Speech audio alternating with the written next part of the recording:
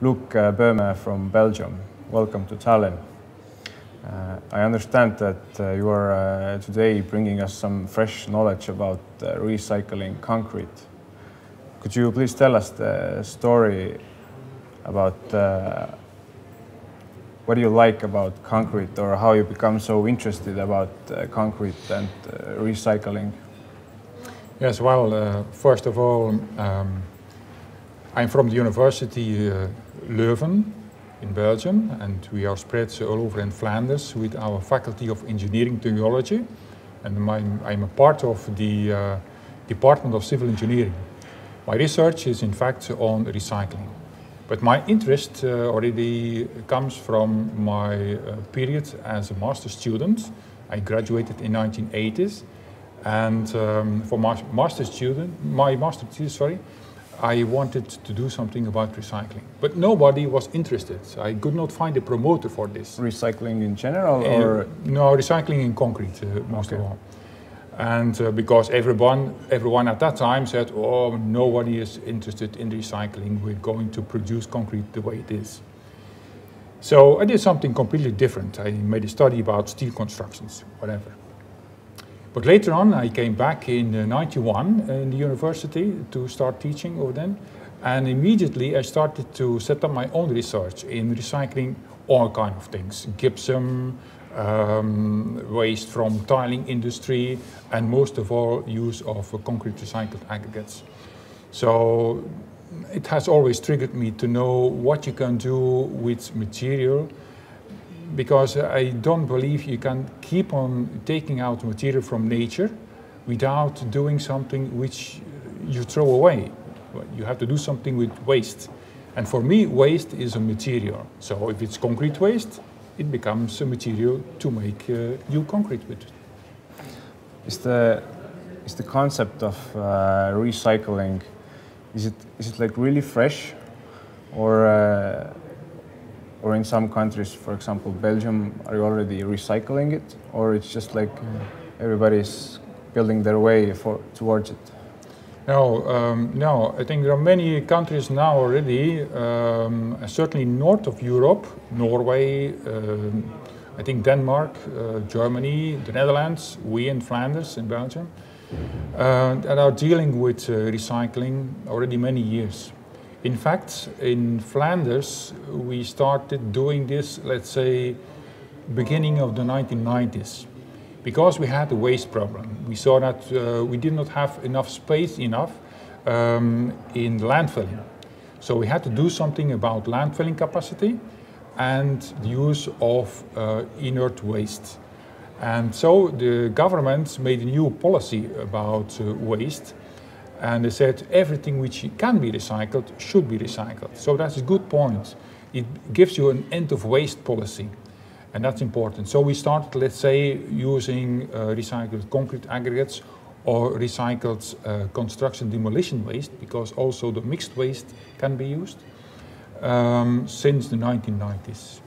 What was the like main problems when the policymakers started to open up the, the gates to, towards saying it's not, it's not trash anymore, it's not just waste, we can use it again.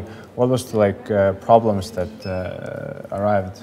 Yeah, well, the belief in the material.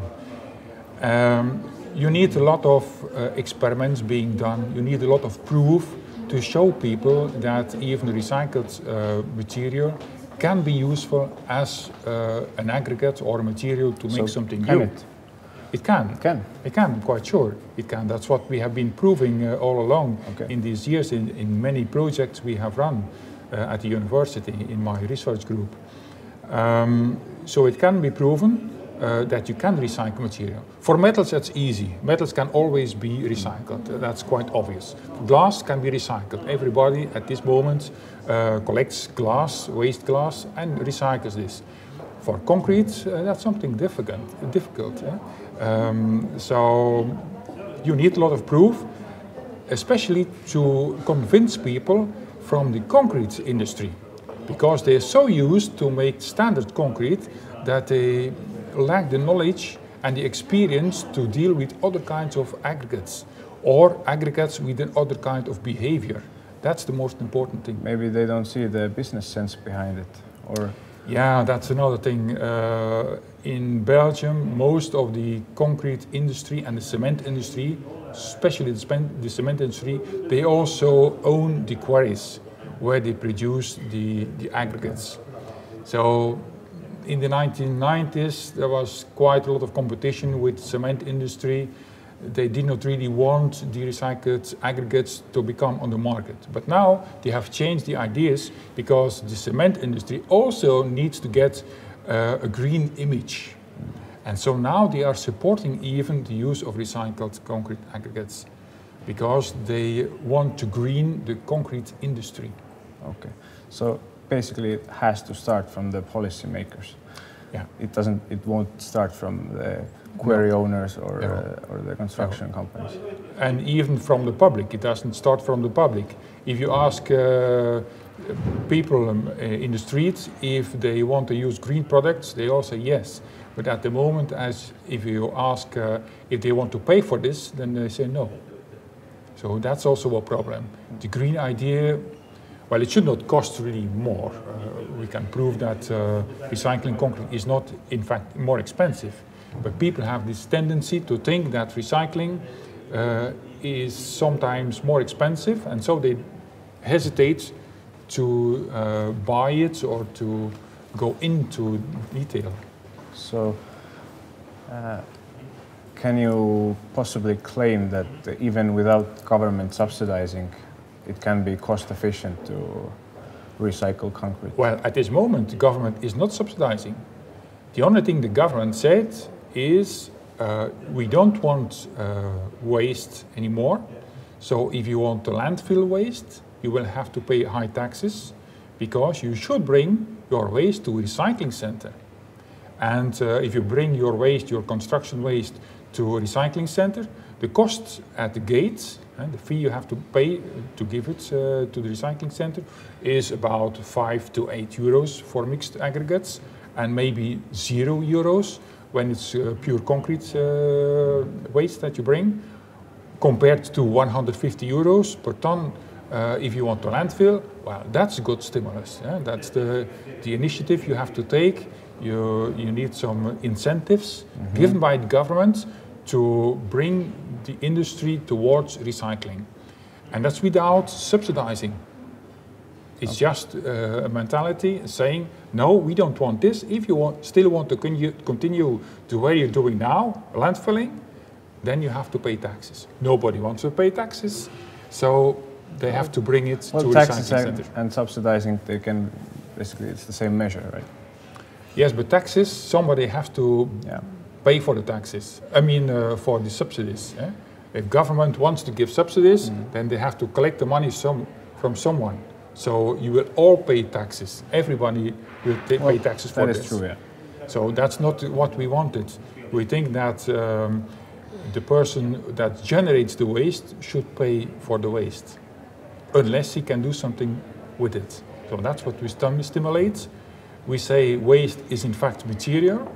So instead of landfilling, we want to avoid landfilling. To avoid landfilling, we raise taxes. So uh, we say, yeah, you should bring this to a recycling company and have it recycled. And this can be done. It can be done uh, for metals, it can be done for concrete waste or demolition waste, it can be done for all kinds of, of uh, other kind of waste, for batteries, uh, whatever. So that's what we do uh, at this moment in Flanders. We have all kind of uh, waste uh, companies, uh, Do you see recycling, a lot of kinds. uh, interest from abroad, companies from uh, from different uh, countries in Europe or outside of Europe, getting Yeah. interested in your technology and uh, your research?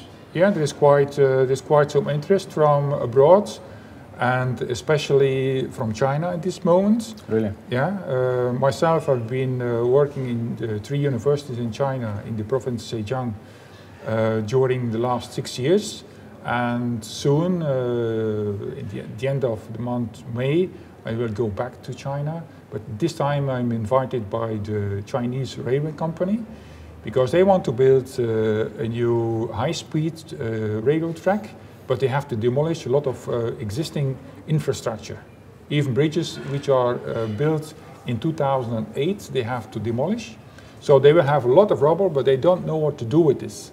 And if they have to transport this to a recycling center in China, uh, which is difficult to find anyway, mm -hmm. uh, they will have to pay a lot of money just for transportation.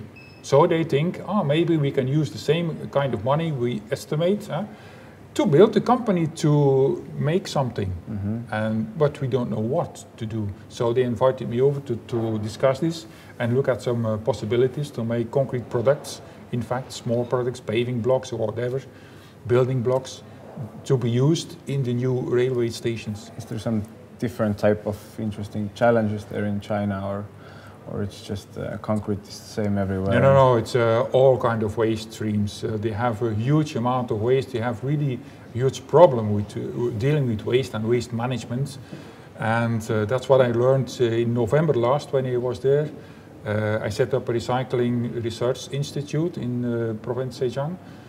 And um, well, many issues had to do with all kind of industrial waste, sludges, um, uh, which are contaminated or not contaminated, uh, metal waste, fly ash, all these kind of problems they have. Well, it's great to know that they're interested in solving those problems. Yeah, but in China, the way of working is somewhat different.